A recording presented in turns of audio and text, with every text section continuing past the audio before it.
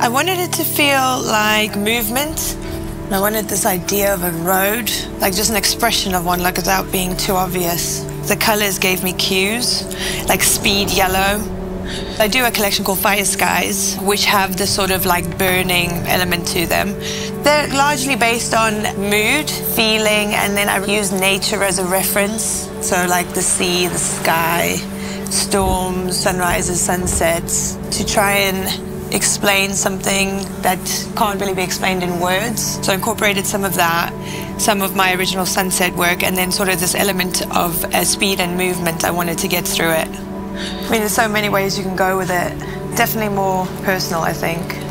And I'm still trying to keep it very Porsche as well, trying to find good ground between the two.